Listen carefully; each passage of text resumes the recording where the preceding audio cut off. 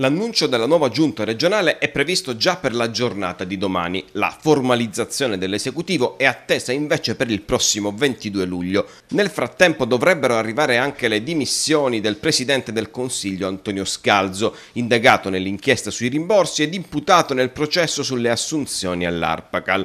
Ieri il capo dell'assise all'interno dell'astronave ha annunciato attraverso un cinguettio del suo portavoce la convocazione dell'ufficio di presidenza e della conferenza dei capigruppo per la prossima settimana. La data più probabile è quella di lunedì 13 luglio. Non sarò certo io, ha chiarito Scalzo, l'ostacolo al cambiamento, esprimendo in modo lapidario piena condivisione della linea politica dettata dalla segreteria nazionale del Partito Democratico. A proposito, Largo del Nazareno prepara in queste ore il dossier che dovrebbe rivoluzionare il PD alla punta dello stivale.